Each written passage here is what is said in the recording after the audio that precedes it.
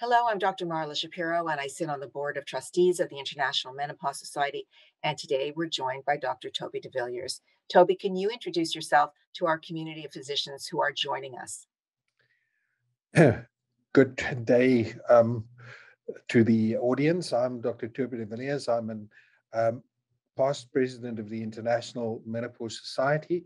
I am a gynecologist by trade, but I am also specializing as a bone metabolic expert and spend a lot of my time with patients with osteoporosis and also other hormonal issues. So, as we follow our midlife women with increasing risk for osteoporosis, I want to get across the message to our healthcare practitioners that bone health is more than a bone mineral density. So, could you talk to us about how you assess or how we should be assessing our patients who are at risk for fracture and that the DEXA is not the only story? Um, a very good question, um, Marla. The uh, DEXA is certainly only part of the whole equation. So the first thing is that we have to look at risk factors for fracture. And the most common f- factor there will be the patient's previous history, especially of a so called fragility fracture, where they sustain a fracture when falling from own body height. Uh, the second most important is probably a familial history and especially of a hip fracture with either of either the mother or the father, or then just a history of osteoporosis in, in from the maternal or paternal side. Other factors that are important um, will be factors like a low body mass index, people who don't exercise a lot, uh, people with a diet low in protein or with not optimal um, utilization of calcium or vitamin D. And then obviously we have a lot of secondary causes of osteoporosis as well. And um, these are mostly stuff like an early menopause, rheumatoid arthritis, or diseases like secondary hyperparathyroidism. Um, also, the use of medications such as uh, corticosteroids. So, all these factors have an input into the assessment of a patient for the risk of fracture. Now, the one with probably the best input will be a bone mineral examination, but it always has to be seen in context of the other risk factors. Now, previous years, this was quite difficult in, in, in doing it yourself. But nowadays, we have various models, and I would basically only um, encourage you to use one model. That's the FRAX model, um, which is an online model and it can be, be assessed very easily by just putting FRAX on your browser. Um, it is the official one endorsed by the International Osteoporosis Foundation, as, and um, it is exceptionally user friendly. Um, the app will basically ask you the patient's age, because we didn't talk about that, but that's also a very important factor. Um, it will ask you about the body mass index. It will ask you about any um, secondary factors, also specifically in terms of smoking, which is bad, and um, in terms of excessive alcohol use. If you do have a bone density, the FRAX model uses um, the femur neck um, uh, absolute value, not only the T score, and then it will give you a risk probability over 10 years. So that is the basis on which we work today is the uh, risk probability for any major osteoporotic fracture on the one hand, or specifically for hip fracture on the other hand. I think it's so important. I think it's so important though for people to recognize that that minus 2.5 was not necessarily a threshold for treatment, particularly, let's say, in an older, frail woman, a threshold for treatment may be much less. So, this model does incorporate those concerns as well and is country specific. Yeah, that's the thing is that unfortunately, FRAX doesn't tell us when to treat. FRAX just tells us what the risk is.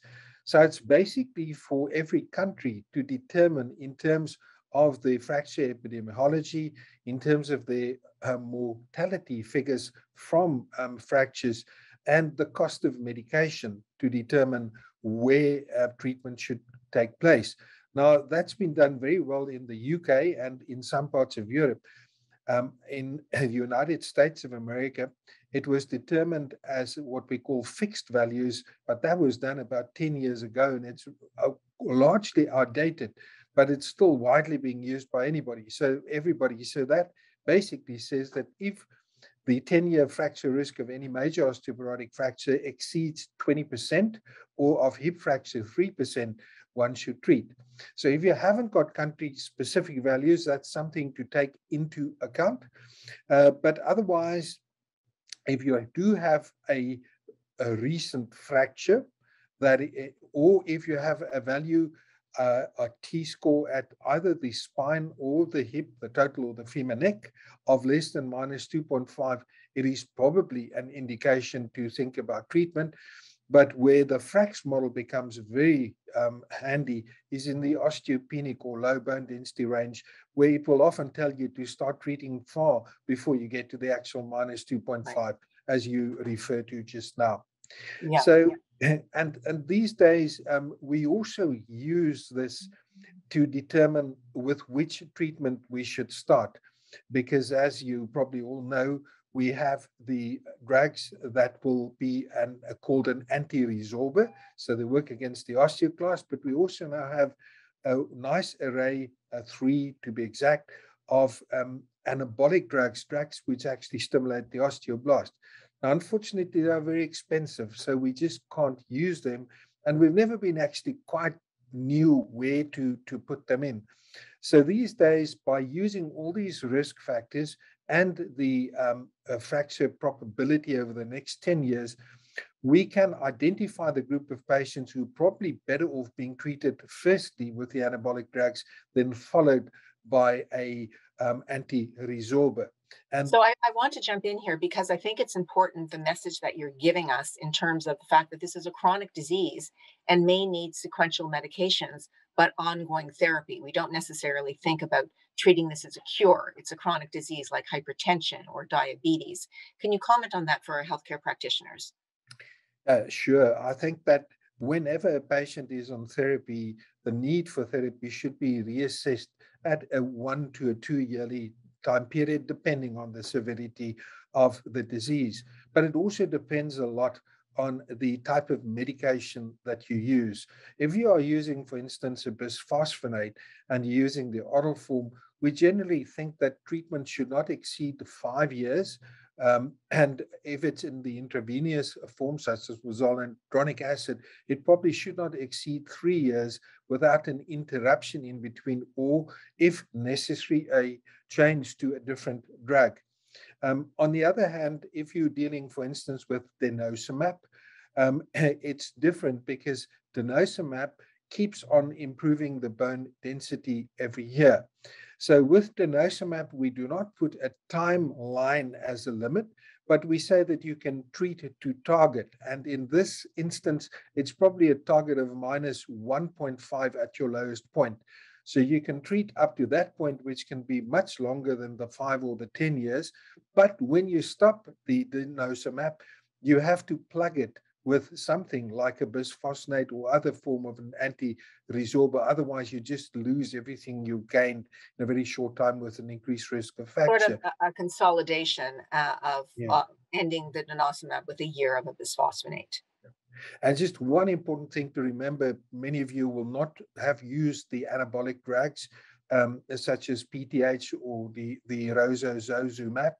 Um, the, these drugs can only be used for limited period of time and it would mostly be 18 months at the most, or sometimes only one year, exceptionally for two years of length. And the problem is that you have that anabolic window. If you exceed that anabolic window, you'll also start um, stimulating the osteoclasts, uh, which obviously would be counterproductive. So your, your anabolic drugs are for preferably the first part of the treatment, a year 18 months to two years, followed by one of the other anti-resorber drugs. So a lot will depend on exactly what you're dealing with.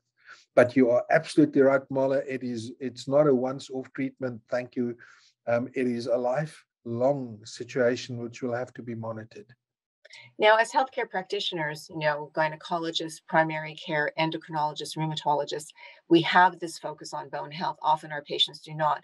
When would you tell our practitioners listening to really make sure that they're talking about bone health, putting in a bone plan, including when to screen for risk factors, when to screen for a DEXA? How should they be approaching this? Okay, generally speaking, we're talking to a male patient audience at the moment. It would be at the time of the menopause.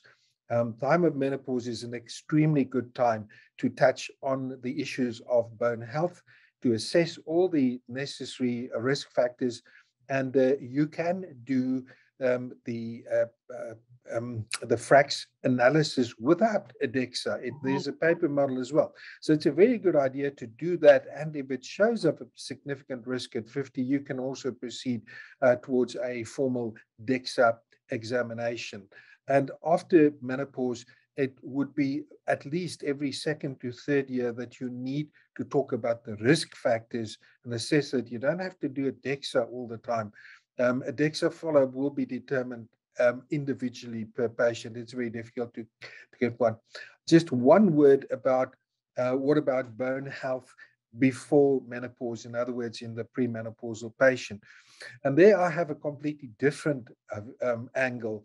I would not deal with bone issues except if I have a definite secondary cause which would make me um, go into to bone health because many younger patients are inappropriately um, seen with DEXAs, and they then are measured or calculated in the wrong way as if they were mm. menopausal, and they get a great fright and even um, medication, which is absolutely not necessary. So just remember in the premenopausal patient, we talk Z scores or Z scores, as you say.